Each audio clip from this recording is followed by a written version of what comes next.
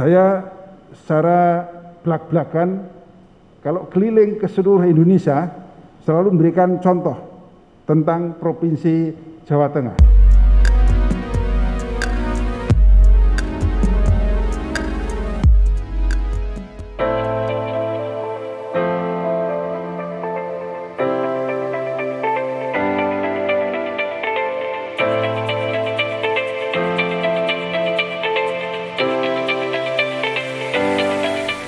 Alhamdulillah kami jujur saja menyempatkan waktu harus datang ke Jawa Tengah karena pertama mengapresiasi apa yang telah dilakukan oleh Bapak Gubernur Jawa Tengah tentang zakat di Jawa Tengah.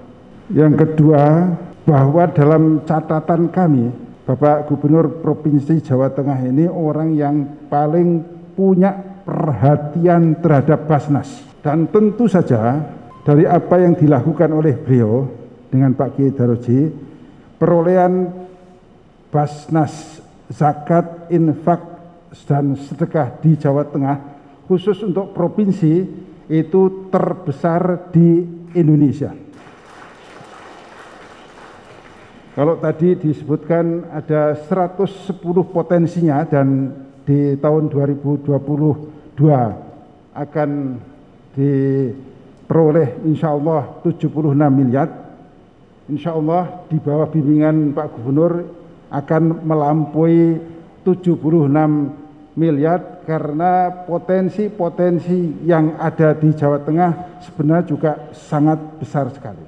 Gerakan cinta zakat yang diluncurkan oleh Bapak Presiden pada tanggal 15 April tahun 2001 ternyata mempunyai dampak yang sangat besar sekali di seluruh Indonesia. Dan gerakan ini kemudian diikuti oleh gubernur, bupati, wali kota se-Indonesia. Pak Ganjar, Provinsi Jawa Tengah, Pak Gubernur Jawa Tengah sebenarnya sudah melakukan cukup lama. Supaya ini menegaskan kembali tentang bagaimana gerakan cinta zakat ini dikibarkan kembali gerakan cinta zakat untuk Nusantara. Kemarin kita membuat label begitu di hadapan Bapak Presiden pada saat kami mengadakan zakat di istana. Tapi sekali lagi bahwa apa yang telah dilakukan oleh Gubernur Jawa Tengah kemudian menjadi percontohan untuk gubernur-gubernur yang lain. Saya secara belak-belakan kalau keliling ke seluruh Indonesia selalu memberikan contoh tentang Provinsi Jawa Tengah. Sehingga kalau Bapak Gubernur Provinsi Jawa Tengah ini ke beberapa tempat selalu kita tanya tentang hubungan antara Basnas dengan Gubernur, tentang apa yang telah dilakukan, mungkin karena di antaranya saya selalu cerita bahwa Gubernur Jawa Tengah itu luar biasa dalam mendorong zakat, dalam mendorong hubungan antara Basnas dengan provinsi mendorong hubungan antara Basnas dengan kabupaten kota di Jawa Tengah. Apa yang kami lakukan ini sekedar untuk memberikan contoh kepada yang lain.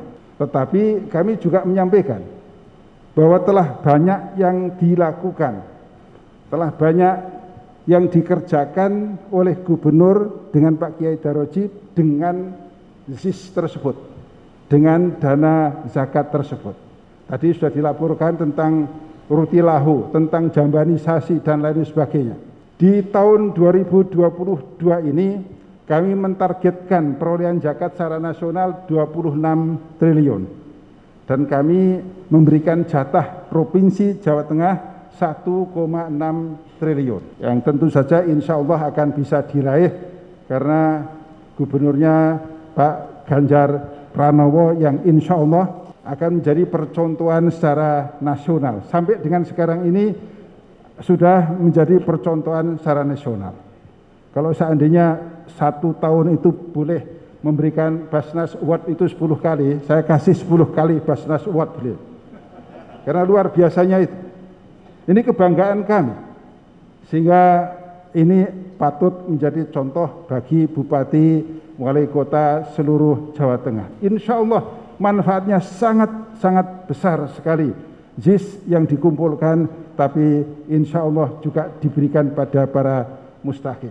inilah yang perlu kita jadikan sebagai satu simbol tentang kekuatan Basnas, tentang kekuatan zakat yang ada di Indonesia. Tidak hanya di Jawa Tengah, tetapi kekuatan zakat yang ada di Indonesia adalah datang dari Jawa Tengah. Assalamualaikum warahmatullahi wabarakatuh.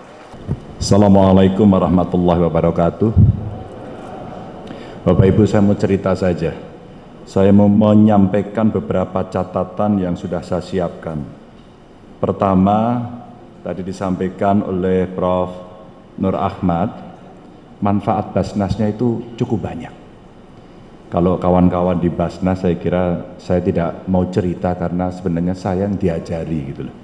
Tapi kepada Bapak Ibu sekalian, yang pertama manfaatnya renovasi pondok pesantren, rumah ibadah, ya. Bisa roh guru-guru agama termasuk guru-guru honorer, beberapa di antaranya seperti tadi malam cleaning service. Yang hari ini banyak WA masuk ke saya atau DM ke IG saya bahwa lah kok kula bentuk THR Pak. Lah aturannya ra entuk imasun. Nah aturannya Rainto akhirnya ya kleru. Malah kini diperiksa BPK, BPKP gitu. Tapi Alhamdulillah ada saja rezeki yang bisa didapat dengan cara-cara yang lain. Dan tadi malam dari Basnas juga menyampaikan ya Pak Yai Daroji kepada mereka cleaning service. Mungkin ini juga akan bisa direplikasi di tempat lain. Ada bantuan kursi roda kepada penyandang disabilitas. Ada juga untuk korban bencana alam dan terima kasih beberapa kali Basnas dengan Pemprov juga berkeliling tidak hanya di Indonesia. Pak Nur Ahmad kita sampai keliling ke luar negeri. Luar negeri itu negerinya Jawa Tengah di luarnya gitu.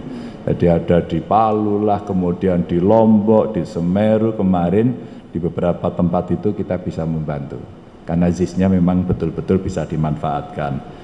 Ada juga bantuan peralatan genset untuk yatim piatu, orang miskin, pelatihan, peralatan dagang, bengkel kemarin, termasuk eh, mobil ambulans dan selama bulan Ramadan kami jalan dengan Basnas.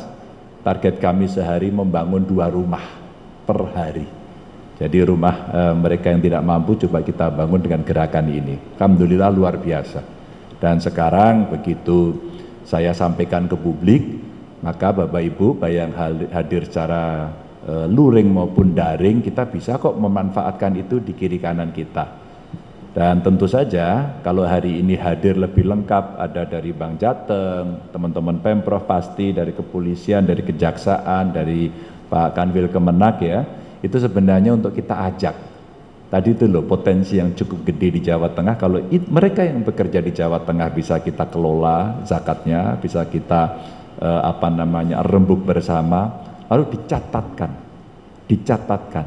Saya hakul yakin banyak di antara saudara kita yang memang menunaikan zakat tapi langsung sehingga tidak tercatat.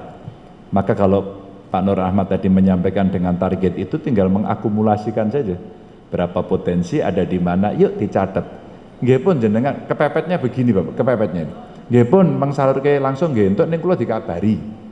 Jadi catatannya tetap kita bisa dapat sehingga ini yang akan bisa kita berikan. Maka saya mengajak kepada warga Jawa Tengah instansi yang ada di Jawa Tengah para pengusaha ya yuk kita tunaikan zakat kita melalui Basnas Nanti kalau sudah ditunaikan kami nggak bisa Pak Ganjar ingin menyalurkan, sangat bisa. Itu hanya masalah kapan kita ngopi bareng. Tapi kalau sudah buka, jangan siang-siang gitu ya. Kapan kita ngopi bareng kemudian ngobrol dan peruntukannya bisa diberikan kepada mungkin target-target yang secara institusi, sekali lagi institusi ini ya, yang memang ingin e, ditunaikan. Ini beberapa e, catatan, termasuk bahkan usaha-usaha produktif uh, seperti modal usaha dan bisa membantu anak-anak kita termasuk yang dapat beasiswa Bapak Ibu. Jadi Masya Allah banyak sekali yang bisa kita dapat dan tentu saja ketika kemarin Pak Nur Ahmad di Jakarta saya lihat di TV sama Pak Presiden menunaikan kemarin kok saya terinspirasi maka dengan Biro Kesra, dengan Basnas, dengan Kemenak kita minta ini kita tradisikan yuk setiap tahun kita upacarakan, tradisikan bareng-bareng, kita gerakan cinta zakat ini bayarnya bareng-bareng. Dan nanti pasti dari Basnas juga akan melakukan upaya-upaya bagaimana agar publik tahu manfaatnya ada, transparansinya juga bisa disampaikan, dan itu akan menjadi satu uh, cara bagaimana kita membereskan persoalan yang biasanya, biasanya Bapak Ibu, itu ditempelkan pada fungsi kepemerintahan. Dan pemerintah dengan anggaran yang sangat terbatas pasti tidak bisa cespleng, tidak bisa langsung. Saya banyak eh, diajari oleh Pak Yai Daroji bagaimana memanfaatkan ini terus kemudian muzakinya kira-kira berapa, mustahidnya berapa, kalau kemudian kita hitung-hitung potensi itu kita bisa arahkan, oh UMKM mesti kita bantu, oh ternyata kelompok yang tidak mampu, oh ternyata ini bisa dipakai untuk usaha produktif, bahkan sertifikasi saja kemarin dilakukan ya Pak, itu menurut saya inovasi yang luar biasa. Kalaulah kemudian yang sifatnya produktif, Basnas bisa mampu membiayai fasilitas dari kita, dari pemerintah itu ada, contoh BLK, contoh SMK, contoh perguruan tinggi. Bapak Ibu, ini cerita link and match itu terjadi. Terjadi. Jadi saya akan menyampaikan yang sifatnya populer ini agar kita bisa menyelesaikan persoalan masyarakat dengan cepat tanpa terlalu banyak rapat Waktu musrenbang di Blora saya itu terngiang apa yang menjadi programnya Bupati Rembang. Menarik. Apa sih ini? Temokno, pokoknya temokno urusan gitu dieksekusi lah ngono. Pokoknya ono nonone telu gitu. Jadi kalau kita menemukan tetangga kita punya masalah, dia menemukan, dia urus, dia bereskan. Kalau tidak bisa baru disampaikan. Karena kalau menemukan kan tidak banyak tidak banyak biasanya. Kalau menemukan ya kan satu dua satu dua. Maka waktu kemarin kita musrenbang menemukan Pak Ganjar belum belum sudah nangis. Pak Ganjar ini gimana anak saya? Lu orang ngerti embuh gitu. Ampun nangis rien gitu. Begitu kemudian kita tahu ternyata anaknya masih muda dan stroke. Lalu saya minta kepala dinas kesehatan ada nggak di sini? Oh. Bu, ini langsung dicek, langsung dicek sama Pemkap Blora kemarin jalan dan sekarang udah di rumah sakit. Jadi sebenarnya kita bisa pakai filosofinya Pak Bupati Rembang tadi. Nemokke, nemokke ini lewat ngobrol-ngobrol. Lalu dieksekusi di lapangan dikerjakan beres. Nggak ada yang berbicara biaya dan sebagainya. Wong pemerintah juga bisa memberikan fasilitas kok. Ini salah satu contoh. Contoh yang kedua kemarin Pak ini satu keluarga mohon maaf penyandang disabilitas dan kemudian problem. Maka dinas uh, sosial ada dinas sosial di sini. Nah dinas sosial Mas Harso kemarin langsung datang ke sana dan oh ternyata sudah ada jaminan. Cuman ceritanya kan narasinya berbeda di masyarakat ketika melihat kondisi keluarga itu seperti itu. Langsung dibereskan, dibantu, silakan untuk modal. Selanjutnya nanti butuhnya apa? Tapi yang pertama kita bisa bereskan dulu. Ini manfaat eh, zakat Bapak Ibu yang menurut saya saya sepakat untuk bisa kita kembangkan dan tentu saja kami akan selalu minta bimbingan pada Basnas Jateng, Basnas Pusat termasuk inovasi-inovasinya yang mudah-mudahan nanti bisa eh, menjadikan kita semuanya memanfaatkan potensi-potensi ZIS ini sehingga jauh lebih optimal untuk menyelesaikan persoalan yang ada di masyarakat. Saya hakul yakin dua tahun dalam pandemi ini banyak teman-teman kita, saudara kita yang butuh bantuan. Di bulan Ramadan ini pun kami senang mendapatkan cerita banyak orang ingin sekali membantu Sekali lagi, ingin sekali membantu. Jadi ini bulan penuh rahmat yang kemudian orang berlomba-lomba dalam kebaikan saling membantu dan biasanya biasanya ini kalau dibandingkan tidak bulan Ramadan itu agak sedikit beda. Paling rak sekarang itu rada ora cetil gitu, rada ora gitu ya. Kalau dulu Pak Nur Rahmat awal-awal dulu kita nyang-nyangan, Pak. Ayo bayar zakat gitu. Itu nyang-nyangan. Nyang-nyangannya apa? Niki zakatnya dihitung saking napa Pak Gubernur? Saking gaji, saking honor, saking tambahan penghasilan, sing pundi Pak? Kudu cetha niku ngono, nyang-nyangan sih. Tapi tidak ada kan orang sekolah langsung kelas 6 kan nggak ada gitu. Ya kelas 1 sik ini. Ya kelas 1 sik kita iki dijelaskan rung iso. Kelas 1 ya. Kelas 1 jelaskan rung iso jek nganggo ngompol barang to, ngoten niku to. Jadi jelaskan sik ya wis karepe apa kowe? Saya maunya dari gaji ya gaji sih gitu. Kita ngalah Pak Nur, Pak Nur Ahmad awalnya gitu. Terus kemudian ada uh, teman-teman uh, yang ya seringlah saat itu saya berkeliling kalau pagi ke dinas-dinas sebelum pandemi itu kultum. Ayo sak durung nyambut gawe awake dhewe rohani dikuati se. Ayo kultum ayo saya minta para romo kiai ulama untuk hadir waktu itu memberikan penjelasan. Lama-lama dia paham, karena nggak tahu, oh sudah naik kelas 2 ternyata dia. Sudah naik kelas 2, neng ijek cetril. Gitu. Tambahi lagi ilmunya, oh mulai paham. Naik kelas 3 Pak, mulai paham, tambahi, tambah honore, itu. Begitu dia sekarang sudah kelas 6, udah paham, oh seluruh pendapatan.